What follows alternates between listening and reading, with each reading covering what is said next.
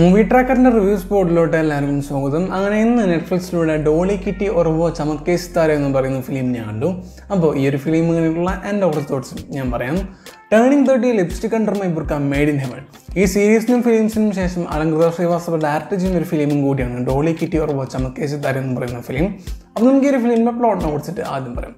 Plot എന്ന് പറയുന്നത് ഈ ഫിലിമിന് പ്രധാനമായിട്ട് വരുന്ന രണ്ട് ഫീമെയിൽ ക്യാരക്ടേഴ്സ് ഉണ്ട് ഡോളി കിറ്റി ഇവരുടെ ലൈഫ് സ്റ്റോറി കൂടിയാണ് ഈ ഫിലിം ടോട്ടലി പോകുന്നത്. തന്നെ അങ്ങനത്തെ ഒരു സ്റ്റോറി ലൈനെ വെച്ചിട്ടാണ് ഈ ഫിലിം ടോട്ടലി സഞ്ചരിക്കുന്നത്.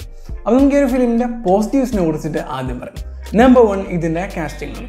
കാസ്റ്റിങ്ങിന്റെ കേസ് എടുത്ത് പറയുമ്പോൾ നമുക്ക് ഭൂമി പട്നാക്കർ അതുപോലെ തന്നെ കൊങ്കനാസിൽ ഇതുപോലെയുള്ള രണ്ട് ആർട്ടിസ്റ്റുകളെ കാണാൻ പറ്റും. ആൻഡ് അവരൊക്കെ നല്ല രീതിയിൽ ഒരു ഫിലിമിൽ പെർഫോം ചെയ്തിട്ടുണ്ട്.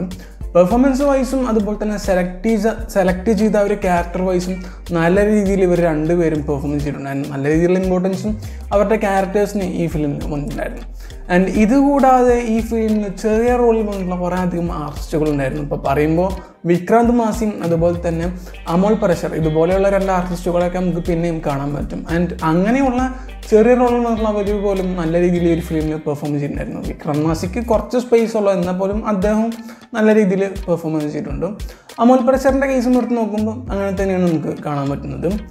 നമ്പർ ടു ഈ ഫിലിമിലത്തെ ഫീമെയിൽ ക്യാരക്ടേഴ്സിന്റെ കേസാണ് അതായത് ഈ ടൈറ്റിൽഡ് ക്യാരക്ടേഴ്സ് ഉണ്ടല്ലോ ഡോളി കിറ്റ് അവരുടെ ഒരു പ്രത്യേകത എന്ന് വെച്ചാൽ രണ്ട് പേർക്കും ഒരു സെയിം മോട്ടീവാണ് എന്ന് വെച്ചാൽ അവരുടെ ഒരു ലൈഫ് സ്റ്റൈലും കാര്യങ്ങളും എന്നൊക്കെ പറയുമ്പോൾ ഒരു സർവൈവിങ് ടൈപ്പിൽ അല്ലെങ്കിൽ ഇത് വെച്ചിട്ട് ജീവിച്ചാൽ മതി എന്നുള്ള ടൈപ്പിലോട്ടാണ് ആദ്യം പോകുന്നത്.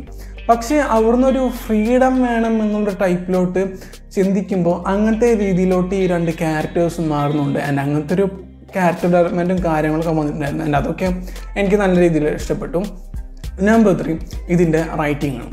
റൈറ്റിങ്ങിന്റെ കേസ് എടുത്ത് പറയുമ്പം ഈ ഫിലിമിനെ രക്ഷിച്ചത് റൈറ്റിംഗ് ആണെന്നാണ് എനിക്ക് പേഴ്സണലി ഫീൽ ചെയ്തത്. കാരണം ഈ ഫിലിം ഡ്രോപ്പ് ഔട്ടായിട്ട് പോവേണ്ട പലവിധ സെഗ്മെന്റ്സ് ഒക്കെ വന്നിട്ടുണ്ടായിരുന്നു. ആൻഡ് അവിടെയൊക്കെ റൈറ്റിങ്ങിന്റെ ആ ഒരു ബലം കാരണം അങ്ങനെ ഡ്രോപ്പ് ഓഫ് ചെയ്യാണ്ട് നല്ല രീതിയിൽ പിടിച്ചു നിർത്തുന്നുണ്ട്. ആൻഡ് റൈറ്റിംഗ് ഒക്കെ നല്ല രീതിയിൽ ചെയ്തു വെച്ചിട്ടുണ്ടായിരുന്നു. ആൻഡ് അവിടെയൊക്കെ എനിക്ക് നല്ല രീതിയിൽ ഇഷ്ടപ്പെട്ടിട്ടുണ്ടായിരുന്നു. ആൻഡ് ഭയങ്കര ഒരു ക്വാളിറ്റി കാര്യങ്ങളൊക്കെ എനിക്ക് റൈറ്റിങ്ങിൽ ഫീൽ ചെയ്തിരുന്നു. കാരണം സ്ട്രെച്ച് ഓൺ ചെയ്യുക അല്ലെങ്കിൽ ബയാസ് ഉള്ളൊരു സ്ക്രിപ്റ്റും കാര്യങ്ങളൊന്നല്ല ഈ ഒരു ഫിലിം വന്നിട്ടുള്ളത്. ആൻഡ് അതുകൊണ്ട് തന്നെ നല്ല രീതിയിൽ എനിക്ക് ഇഷ്ടപ്പെട്ടു.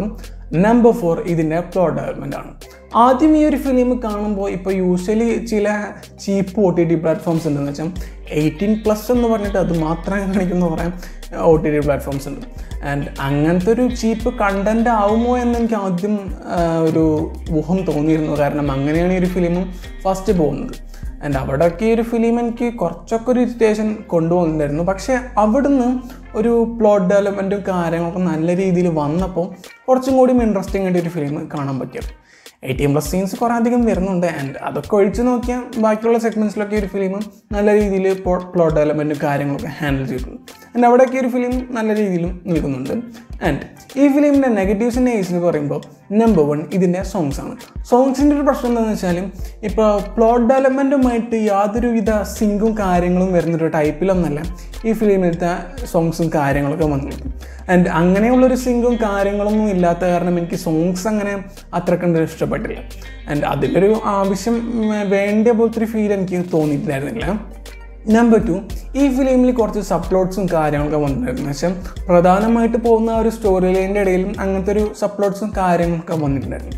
പക്ഷേ അതിന് ഡിസർവ് ചെയ്യുന്ന ഒരു ടൈപ്പിലുള്ളൊരു എൻഡിങ് ഈ സപ്ലോട്ട്സിന് കൊടുത്തിട്ടുണ്ടായിരുന്നില്ല. ആൻഡ് അതുകൊണ്ട് എനിക്ക് ആ ഒരു പോർഷൻ മാത്രം ഇഷ്ടപ്പെടാതെ വന്നിട്ടുണ്ടായിരുന്നു. ആൻഡ് അങ്ങനെയുള്ള ചില പ്രശ്നങ്ങൾ ഇതിനുണ്ട്. എന്നാൽ അത് കാര്യമായിട്ട് എടുത്ത് പറയേണ്ട ഒരു പ്രശ്നമൊന്നുമല്ല. ചെറിയൊരു ഇഷ്യൂസ് മാത്രമേ ഉള്ളൂ. അത് അത്ര വലിയ പ്രശ്നമുള്ളൊരു കാര്യമല്ല. ആൻഡ് ഓവറോൾ പറയുമ്പോൾ ഒരു നല്ല ഫിലിമാണ് കാരണം കണ്ടിരിക്കാൻ പറ്റിയൊരു നല്ല കണ്ടന്റ് ഉണ്ട്. എന്ന് വെച്ചാൽ നമുക്ക് കുറച്ച് തോട്ട് പ്രൊവോക്കിംഗ് രീതിയിലുള്ളൊരു കണ്ടന്റ് ഈ ഒരു ഫിലിമിൽ വന്നിട്ടുണ്ട്. അത് തന്നെയാണ് ഈ ഒരു ഫിലിമിന്റെ ഒരു പ്രത്യേകത.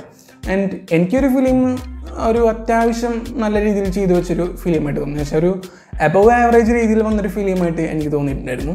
പിന്നെ ഇമ്പോർട്ടന്റ് ആയിട്ട് പറയേണ്ട ഒരു കാര്യം എന്താണെന്ന് വെച്ചാൽ ചിലപ്പോൾ ഈ ഒരു ഫിലിം നിങ്ങൾക്ക് കണ്ടാൽ രണ്ട് ടൈപ്പിലുള്ളൊരു അഭിപ്രായം വന്നേക്കും. രണ്ട് ടൈപ്പല്ല ചിലപ്പോൾ പലവിധ ടൈപ്പിലുള്ളൊരു അഭിപ്രായങ്ങൾ വന്നേക്കും. അത് എന്തുകൊണ്ടെന്ന് വെച്ചാൽ ഞാൻ ഇപ്പോൾ പറഞ്ഞ പോലെ ഒരു തോട്ട് പ്രൊവോക്കിംഗ് സെറ്റപ്പിലാണ് ഈ ഫിലിമിന്റെ ഒരു കണ്ടന്റും കാര്യങ്ങളൊക്കെ വന്നിട്ടുള്ളത്.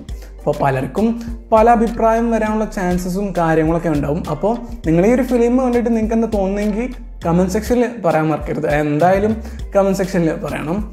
അപ്പോൾ മറ്റൊരു റിവ്യൂ ആയിട്ട് പിന്നെ വരാം. അപ്പോൾ ശരി എന്നാൽ ബൈ ഗൈസ്